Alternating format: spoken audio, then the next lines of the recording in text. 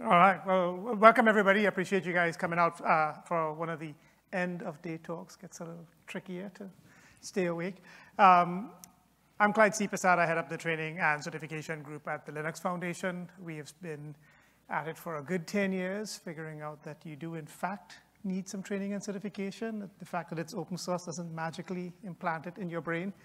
Uh, and uh, we've been spending a lot of time thinking about the talent side of the equation, um, while most of our uh, comrades are working on code and actually building great code. And so the training team works on the backside of that to figure out, okay, yeah, there's great code. What can we do to, to get more uh, talent ramped up as both contributors and users of the ecosystem? And, uh, and I'm Jay White. I work on the open source strategy ecosystem team at Microsoft. I'm here on behalf of my fearless leader who couldn't be here uh, today, but I am her uh, hiring manager alternate on, on the team, so I can speak directly to the challenges that are experienced uh, with uh, building and retaining teams uh, in this kind of market, but also um, how to help scale what's already in your organization and ramp them up to join your team doing uh, maybe sometimes very different things. Uh, so we're going to run through a prepared slide presentation. It's a small group, so just raise your hand if you have a question. Uh, we'll stop as we go along. Um, it's interesting, you know, we submitted this, this talk right when we were at peak layoff, I think, happening this year. And they were like, is talent shortage still a real thing? Because there's hundreds of thousands of people on the market. Well, actually, it turns out most of those people got another job within six or eight weeks of their last job. And uh, if you talk to hiring managers, those of you who are hiring managers in here or on the back end of waiting for new colleagues to come in through the hiring process, the issue of talent availability did not magically disappear when the economy got tight. It's still very real, uh, and it's real across the world. So even post pandemic with remote hiring, uh, we're still hearing that pretty consistently. And so the idea behind this talk was to say, hey, what's really happening out there and what strategies are available to organizations that are kind of permanently stuck with open seats that they wish they could fill. Uh, and you know the old definition of insanity. you have to do something a little bit different if for the last five years you haven't been able to get as much cloud talent as you'd like to have available. And so we're going to explore a little bit about that. Um, I think we have an intro slide. And then Jay, maybe just talk a little bit about kind of the uh, sure thing. So, so we have we have a few pictures up here, right? Talking thinking about economic crisis. You hear this across your organizations, right?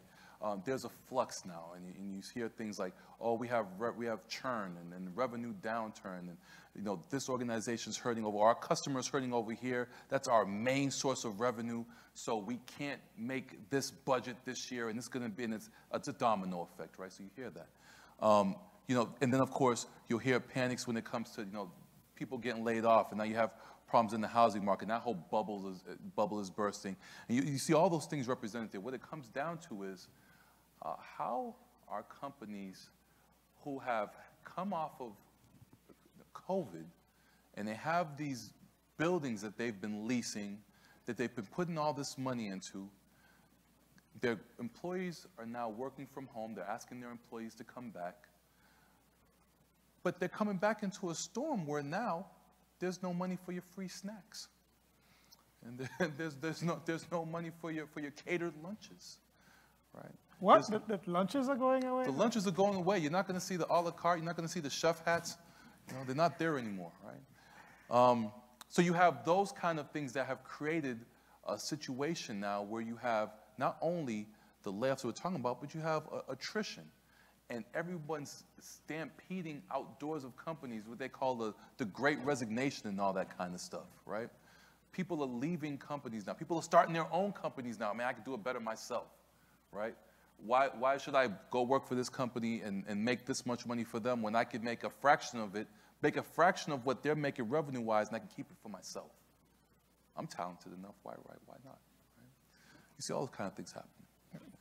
So, you know, there is this idea that there is a uh, change in the availability of talent because of the cutback, because every time you turn on the news, there's another wave of, you know, wave three of layoffs at XYZ sort of megacorp.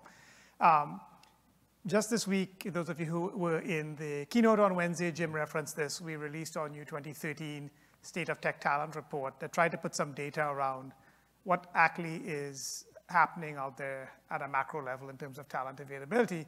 And it turns out what's happening is not what you would think was happening if all you did was read the headlines about wave upon wave of layoffs. Um, yes, it's real, but what the data says is that unlike past uh, economic downturns. This time around, a lot more of the people who were affected were pretty high earning, kind of fairly senior folks uh, who had been kind of hoarded at different organizations because they were in house.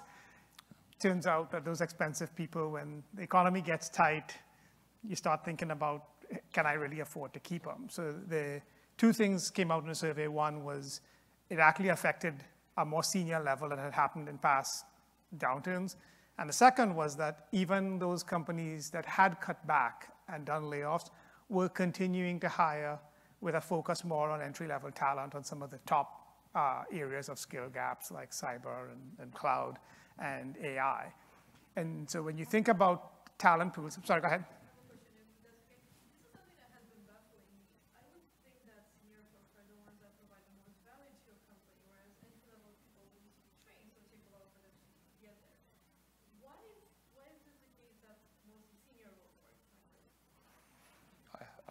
Have a, I have a, a, a thought. I have a thought. Right? Um, it begins with automation, one. Um, there's also, uh, when you consider what does a VP do today? I'm not, any VPs in the room right now? I promise I'm not getting ready to crap all over you. I promise that I'm not getting ready to crap all over you.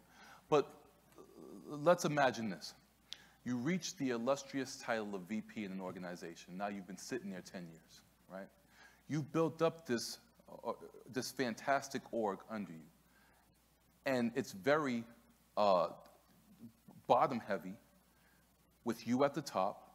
You may have a few directors, maybe a few more senior managers that are driving all this work below. All you're doing is now reporting metrics up, right? How are these metrics getting generated? It's not, it's not a PowerPoint anymore, right? Somebody's not doing a PowerPoint for you, and you're not having to get this metric from this person, this metric from this person, this metric from this person, build a roundtable. Okay, this is what I'm going to present to the, to, the, to the president, or this is what I'm going to present to the C-suite. These things are now automated. And now you have this wonderful dashboard that's automated.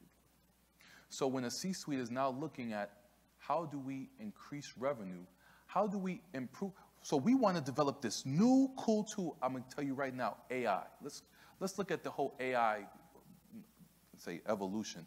AI has been around for, for, for a long time now. We're, we're just catching up. But, but, the, but the, the, the whole AI evolution, right? Every major organization now is trying to find money to put into this technology and, and be the first to market with something cool and fancy. Where's money coming from?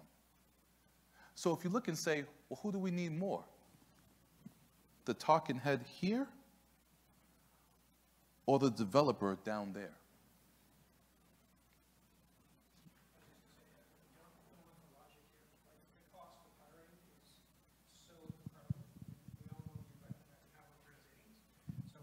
Looking for logic here is not necessarily the appropriate path because especially in the case of public companies where they have to answer to shareholders, like logic's out the window, right? And so you just have lemmings at this particular point.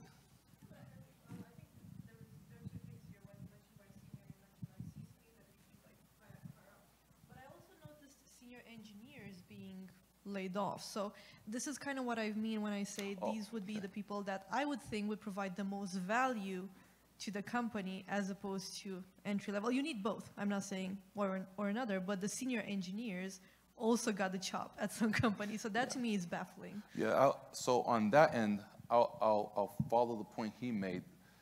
Very illogical. What I will say is this: um, you have concepts now, not really a concept, but I guess I guess solution. Memory safe languages. So you're more senior engineers. You're, you're more what I consider to be old school engineers are they coding in what's considered memory safe languages today? Are they doing that? Or are they asking the younger developers to do that? Are they saying, okay, well, show us uh, what's being done? To an organization who has to move fast, remember, you still have SLOs that need to be met. The organization is moving fast. Are You're going to wait on the senior, senior engineer to get plussed up? Or are you're going to bring in that new, budding, fresh out of college who just got finished coding in something like Rust? He just, he spent his whole entire collegiate experience coding in Rust, and he can come in and build whatever the hell you want. Or you're you going to say, hey, senior engineer, go to like a 12-week course that we're going to pay for. We're going to fly you out to pay for, put you up in lodging everything else, learn Rust and come back. I, I mean, I'm, like I said, illogical in nature. I'm just giving a. I, uh, I often think of a client I had, uh, German guy, who, whenever there was a downturn, his mantra was always, uh, costs walk on two legs. uh, it is a difficult time to be a hiring manager. I, I, I think all of you know. Um, yeah, absolutely. So we have our challenges here, right? And then we talked about the resignations uh, earlier on, right? Great resignations, and you get the layoffs and uh, things like retention hiring. I mean, you see, you see the slide there, right? Um, the, the, to me, in my mind, the most important two you see here are the two down there on the, on the right, the legacy technologies and the emerging technologies. Boy, aren't those two different ends of the coin when we think about hiring challenges. Why is that? That's because the newer individuals coming in have no idea about legacy technologies, and the older individuals sometimes get so complacent that they take their eye off the ball of what's emerging. That's why it's wonderful to be in information security. It's wonderful to be in information security because I have no choice but to keep my eye on what's coming up next, right? Um, now, when it comes to the hiring challenges, though, uh, I'll, give you, I'll give you my story, uh, how I found my way into the open source uh, strategy ecosystem team. I just told you I'm a security guy, through and through. I got hurt. I was a combat soldier and got hurt in the military um, on my second deployment. Um, I was jumping out of planes and doing things that that are a little bit uglier in nature. Anyway, I got hurt. I found myself getting reclassed, uh, first to HR and I hated life, then to, uh, to, to, IT, where I found a, a whole different set of, set of challenges. But what that allowed me to do was to get plussed up on, you know, I went, to, went back to school, got information security degrees, did all that kind of stuff, and found my way into information security. Spent my entire career, 20 something years, doing information security when I applied for a job at Microsoft, got turned down 40 times. 40 times. The person who looked at my resume and said, I want to talk to him, was Sarah Novotny. Why does Sarah Novotny want to talk to me? She said it straight up. In your resume and through our conversation, I saw that you have a philosophy around building communities in information security. My whole career has been spent, even in the military, it was spent with why the hell are we working in silos to solve these issues that we're all experiencing together? That makes no sense to me. And I brought that out into, into when I did information security and cybersecurity, supply chain security, everything else. Why are we talking about, why am I not getting all these business units together, forcing them into a room and saying, hey, why aren't we consuming open source software and third-party binaries the same way? Why isn't that done the same way? And so she saw that in my resume that I bring people together. What's open source? She said, I can teach, you can't teach that. I can teach you everything else. That was, that was uh, March, actually I talked to her in January. I started Microsoft March 21st last year. I'm sitting here presenting in front of you today at the Open Source Summit. Come on. Come on. You know what I mean? Yeah, yeah, yeah. No, no, no. There's no, there's no need to clap. I mean, it, it sounds great, but I'm hating life. You don't understand. This is, this is, this is hard. It's harder than it looks. Okay, just don't, don't well, clap for that. But I think but, that's a transition yeah, into. Yeah. So, so, so the opportunity, the opportunities, right? Look at your teams and beyond, right? Check out the broader community. Great talent is available. You have no idea where that talent is or where they come from. They could be doing something completely different. Uh, one of the things I saw that I see many uh, larger organizations doing, and some do, some smaller ones do it a little bit better, is they have these things like take one, take two, take threes, or these steps, right? Where they'll say, hey, you've been here for a year, or you've been here for two years. Why don't you go spend a semester with this other team over there? You know, and then we'll take somebody from their team over here and we'll cross train. And then we'll send you back. Right? That's an excellent way to find talent within your organization because you know you things get mundane. Things get to a point where you're sitting there and you're doing something and you get complacent. You you you and I, I have one individual, a, a, mentee of mine, that'll sit there and say, you know, I, I I I liked what I was doing before, but now I'm just like going through the motions. Well, maybe this is an excellent opportunity for them to find something else in their organization that they might have more fun doing. Go ahead.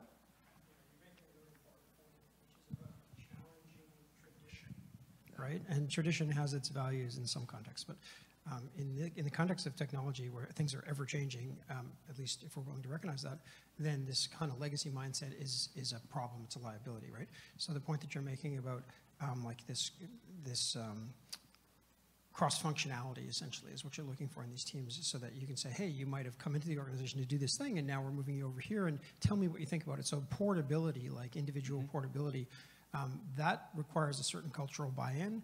So I envy you if you're in an environment where they see the value of that, and I would encourage everybody to try to implement that if they can, because that is essentially the way forward. Where basically you're able to, it's not about hiring from within, it's about recognizing the talent you already have. Absolutely, and I'll tell you right now, I've been fighting, uh, because of budget, they're not, they're not gonna give it to me, but I've been fighting to get my own team stood up to do all of this stuff. I'm in so many different places in open source now, it's not even funny. So I said, hey, I need help. I need to put people in this place. So instead of getting the help I need, I reached out to different engineering teams because I see, I, you know, I, I, did what, I did what was done for me. I looked at resumes. And I have five engineers right now that I have sitting in OpenSSF, SIGs, and working groups that, that are helping out, that they're hands on keyboard still, doing what they love, right? but participating in these communities such that they're getting skills from other individuals, right? That they're, they're pulling in skills, right? They're having these conversations and they're loving it. They hold meetings for me. They, they love it, right? So finding that talent from within is key too to help build up those teams. And they may not be direct reports to you, right? But you can actually help them develop into themselves and then provide evaluation so that they can grow internally to their own teams because they have a leg up that the people on the teams don't have, and that's the skills you're teaching. It's interesting how the problem gets phrased, right? So for those of you who are hiring managers, when you don't fill a role, the question is always, why didn't you fill the role? Did you not advertise in the right place? Mm -hmm. Did you not use the right recruiter?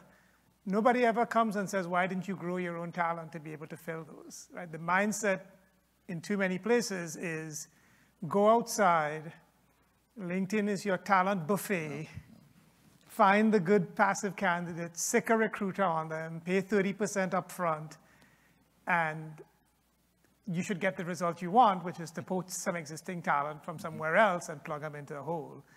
And nobody is saying that you should not do that, but a single strategy of buying talent in will never get you where you need to be, right? And it's sort of interesting that you think that people have learned this over the past five, ten years, but there's some sort of momentum around culture and behavior where they just keep, you know, they keep ramping up the recruiter budgets. it's like, okay, well, how about do that plus do a couple of different things to try to figure out other ways to fish for talent in non-traditional places and to look for ta potential talent within your existing organization.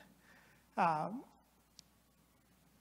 companies know what challenges they face, right? You know, it's interesting, historically, when you look back, big waves of tech change had typically been coming kind of one at a time, right? So you had the, you know, mainframe wave, and then you had a desktop wave, and then you had a, you know, virtualization wave, and then you had a, you know, containerization wave.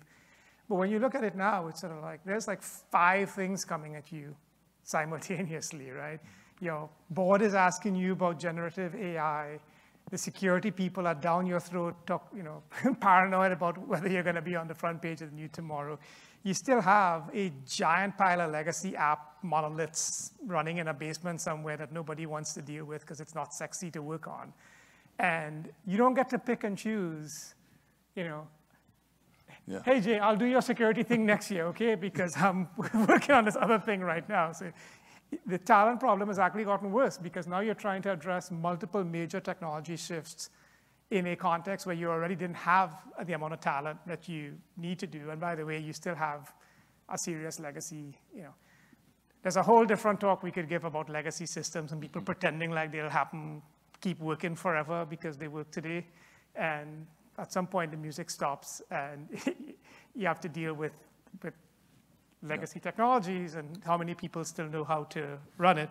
Uh, and, and especially now because, you know, the big sea change from a year ago is all of a sudden the market cares about profitability and budgets have gotten a lot tighter. And so talk about doing more with less. Again, everybody's looking at your cost structure, but they're also expecting you to go. And you know, so, so you, um, and, I, and I don't know your name, I apologize. Green sweater, yes. You made an excellent point earlier about the senior engineer, letting them go, right? Well, these are the individuals, this is how organizations suffer, right? Need to keep and maintain legacy systems. Those individuals understand the legacy systems that are in place and then being let go. Um, I was just in the hall talking about this, and I said, um, actually, yeah, some of the individuals in the hall when I said this. I said, if you want to defeat a new system today, as a pen tester, you want to defeat a new system, write your program in Fortran, right? That, that, because because there isn't a new system out there that'll read that. But guess what? Your legacy systems might. But trying to scrap those for the new shiny, the shiny new things. Now you can't get away from a lot of them especially because some of these new systems might hold, uh, you know, some of the crown jewels, and you sit there and you make them bastion hosts, right? You take them off your network, and sometimes you just connect them to, you know, update something if something can be updated on it, right? Shrug, who knows? Some of the systems can't even be patched. But for an organization to keep and maintain these systems it's incredibly hard now because of that attrition, because of those layoffs that occurred. So now you're asking a, a younger individual, hey, get plussed up on this. Huh? Question.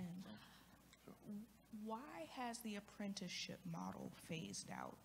Instead of arming recruiters with a bunch of money, hoping they're throwing darts at a wall and hitting high quality talent, why not cultivate and upskill your talent when there's actually studies that show there's higher retention models with that? And you're teaching them not only to handle the legacy systems, but additionally, you're teaching them about, them about the new software that's rolling out as well. Funny enough, for the very thing that just happened, right? Job security, which now is, is a, is, is an oxymoron the right term for that? right? like we are all scared to death for months, right? Um, but, but what you just talked, right? To teach somebody to make yourself obsolete, that was always especially for your senior folks, that was always the thing. Hey, I got I want to make myself obsolete. I want you to know if I can teach you and teach my whole team how to do all this work, I can sit back, just take your metrics and report those things out. I'm not I'm not needed. But it's about so you can go on to the next thing you want to work. Well on your backside, it's about going on to do something else. Okay, right, right. So make yourself obsolete so you can do something. I'll add that in. Yes. So that you can step up the idea is, and, and this was something that I've always said, is look, if I, if I have a team and I move up, guess what? You move up too, right? If I move, up, you move up too. But that's not the, the case as we clearly see it, right? The fear, that the idea that if I move up, you move up too, that was always the case. But then there was also that fear that if, you know, hey, wait, what if there's no place to move up? What if this, what if this is the limit, right? Then you're like, well, I'm not going to teach them how to do that because then they can take my place and at a lower, at a lower uh, cost point, right?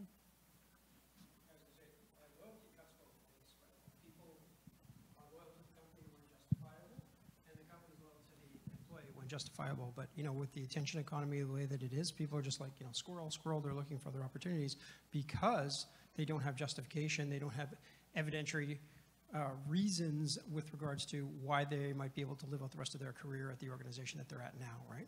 So, uh, so long as people are constantly questioning their value and that is not being articulated to them by the people that are, um, whose opinions they value, they will constantly be looking over their shoulder for the next opportunity. Yeah, you, you still have a, um, unfortunately, unfortunately, this is still a, a who you know, uh, not what you know game. Um, so the individuals you find in seats that have impact and influence are oftentimes not the individuals that know the, the wealth and breadth of the organization. Those individuals are still making sure the organization has wealth and breadth to know about, right? And that's Um, really the opportunity, Yeah. right? Is, you know, cast your mind back to three years ago. How many people in senior positions would categorically rule out the idea of a remote workforce? Mm-hmm. Never could happen, can't trust people, you lose, I mean, those same people, not all of them, but many of them have found religion in, wow, turns out they work more if they're not spending four hours in traffic trying to get to the office. And there's only so much, you know, free haircuts and lunch can get you. Uh, cultural change is hard, right? When you're trying to change 40 years of how things were done, you know, you have to try some different things, and you're not always going to have a pandemic that sort of forces you to, to take stuff off, right? So there's one strategy which a lot of companies have woken up to that they would have categorically said didn't work for a whole bunch of reasons, and they're now saying, oh, actually, this is great. We can go find people in different locations. We can bring them on. They can be totally productive. But if you have that same discussion about upskilling the legacy COBOL Fortran programmer, they look at you like you have two heads. Say, oh, that's, A, where has it worked? Like, I haven't seen it work. And B, how long is that going to take? So I find it, I've always found the whole argument that you can't rely on a remote workforce to be disingenuous. We are sitting here because of Linux. Linux was built by people working from home. All the top people that work on Linux and most of the rest of us have been working from home for well over 20 years. Well, Linux Right. was from 92, and it wasn't until the pandemic that a lot of organizations I understand that, but what I'm saying is, is that, is that many of those organizations are, are using Linux and, and have, have grown on Linux and, and, and, uh, uh, built their entire, uh, businesses around Linux, and yet the technology upon which they are were built from It, it was people not, working remotely. And, and I know lots of people, certainly in the kernel community, who will only work remotely. yeah, it was Uh, not for a lack of, that, uh, even at companies that require people to work, uh, you know, uh, co-located, they still work from home. it was not for a lack of evidence that it could work. It was from a lack of practice of actually seeing it work at scale in organizations like themselves. You know, one of the challenges, I think you asked about mentorship, uh, it takes patience to grow talent in-house, right? You don't just drop somebody in and two weeks later they're productive. But it also takes patience to onboard a new employee. It takes you six months for the recruiter to find the person, and it takes three or four months to teach them how to do it. Then half of them leave after six months because the next recruiter poached them on to the next thing. But yet somehow the idea of saying, I'm going to invest in this guy for a year to upskill him seems like heretical, right? But it's, why wouldn't you? Why wouldn't you take an all of the above strategy to saying, I can't hire my way out of this problem, so I- should try some hiring, I should try some cross-skilling, I should try some remote, I should go to some, you know, the community college on the outskirts that I've never been to before and try to find some young folks that maybe don't have a degree, mm-hmm. and take an all of the above strategy to sort of try to develop that talent, because you know what? It's true. Maybe half that talent moves on after a year and goes on to something else. Are you better off by having the half that remain part of your organization than you would be if you didn't do it at all? Of course you are.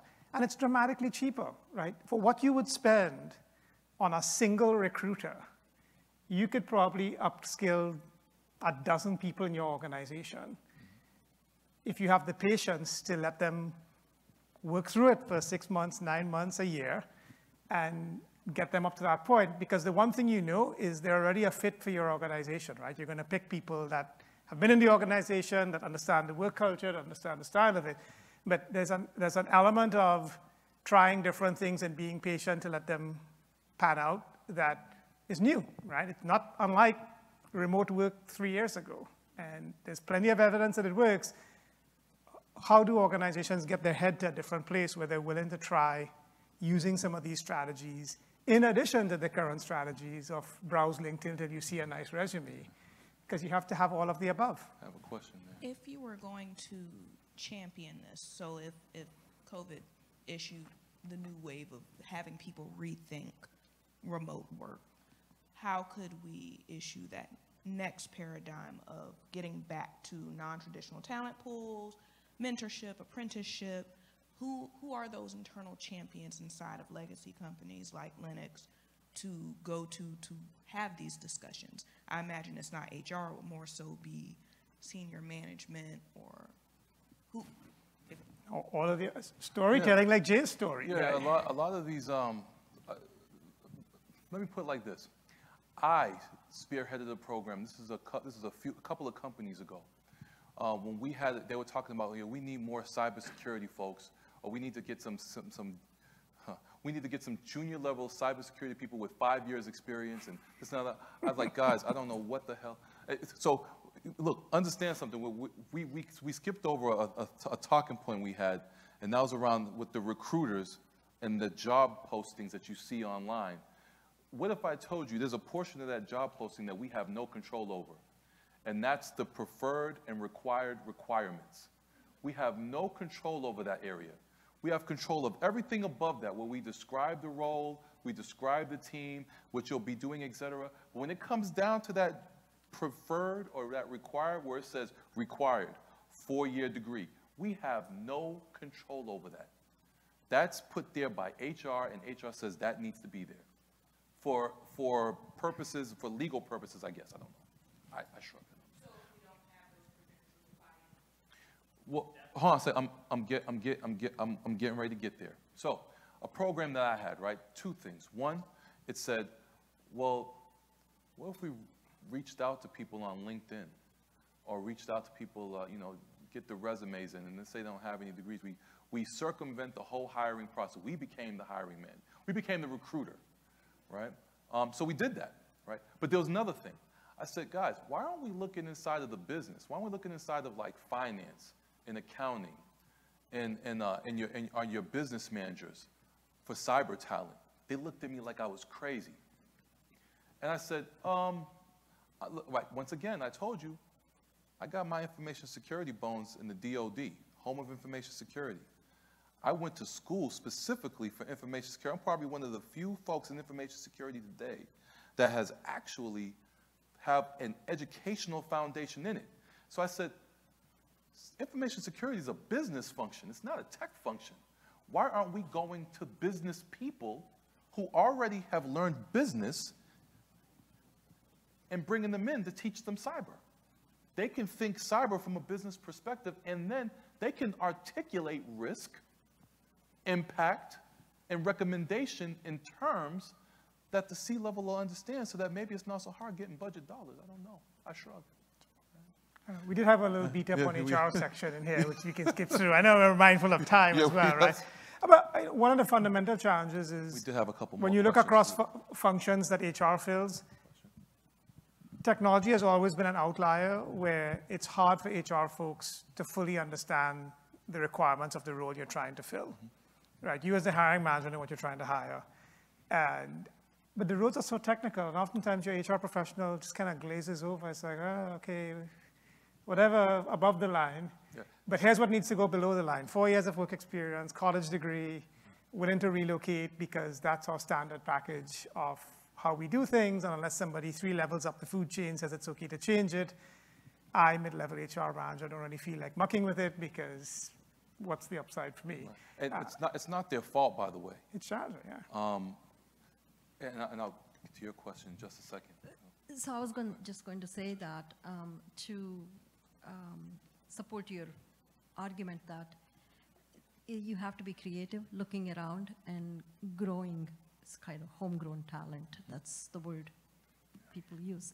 And some of the com- companies I have been at, they have done um, a, a summer uh, professional growth type program with uh, cross uh, pollinating. That's another kind of bringing everybody together.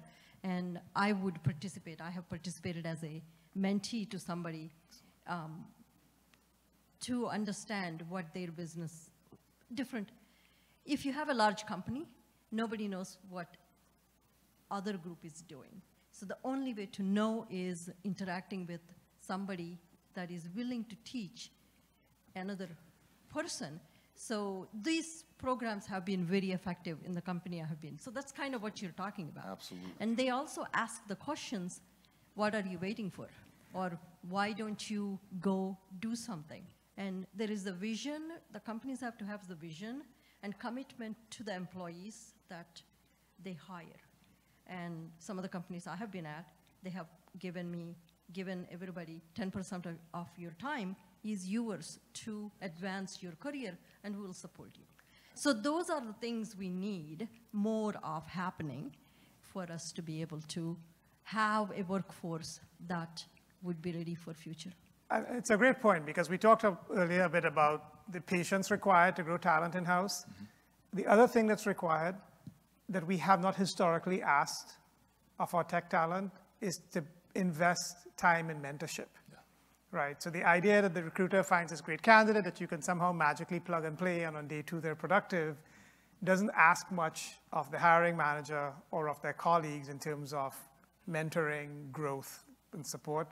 But if you're going to grow talent, somebody's got to do it, right? Somebody's got to find the time to line up with these folks and meet with them and coach them and guide them. And that is, again, part of the change management function is now we're asking our developers and our engineers to proactively invest the time in that next generation of talent that's coming up behind them. And now you're talking about capacity planning and prioritization. So it's not something you just flip the light switch on, right? It's something that has to be a commitment from the organization that this is a way that they want to, to work. I'm mindful of the time. I'm going to skip forward a few here um, and talk about this from two perspectives. Uh, the perspective of the person at a lower level inside the organization, thinking about what's next, and the perspective of the newbie trying to start a career in tech, which is challenging. how do I come in, and how do I come in when all, every headline I see is that more layoffs are happening? Um, but I know we're, uh, maybe we, uh, you Yeah. So, y- I mean, you see the challenges here. Um, one of the things that I like to tell newer folks that want to get in, and that's whether they're transitioning from a previous career that they already had, or whether they're fresh, like in school or trying to figure out what to study. I tell them, I need you to get as creative as humanly possible. Long gone are the days where you're going to find a position that's static. There are no more static positions. Um, you've got to get creative. Create your own lane and put that on a resume and put that out into a position you think it fits in. Just one thing you, just one position you think it fits in. Reach out. Do, do your homework, become a hacker. Become a hacker. Find a person in that organization, talk them up, talk them up to the point where they begin to try to point you at different people. Find the hiring manager for that position that way and get your resume in front of them that way. Because oftentimes, you're going to put your resume into that, into that uh, application system and, you, and they're going to weed you out. The system's set up to weed you out. Um, hold on, one second. I'll get one second. It's going, it's going to weed you out. Uh, it's going to weed you out because, like I said, and I was going to say this before, it's not the HR people's fault. Tech, as much of it is as a science, it's also an art form. It's so beautiful. It's a beautiful art. And every single industry, every single company in that industry, every single business unit in that company does it different. So, so in order to effectively get there, you got to say, well, how can I differentiate myself? What do I like to do? And then what do I love to do? And put those damn things together, right? And create your resume that way. So for the new person in college, or the new person saying, hey, I want to jump in. Well, what, what do you like to do? Well, I like, uh, I don't know, I, I, like, I like psychology. Psychology, no, I don't care what anybody says. Psychology is not a major, right? Psychology, the best is a minor or something like that. Well, what, what, is it, what is it that you love to do? Well, I love, I love working with animals. Excellent. Write an app that describes the behavior of animals. I don't know. I shrug the shoulders. Write an app that does that and fall in love with it. Right? Fall in love with it. You're in the game now. Right? You're doing something you like, you're doing something you love, and you're putting technology, let technology be the glue that, that drives it together. And now you can market that to an organization. Hey, I built this. Go ahead.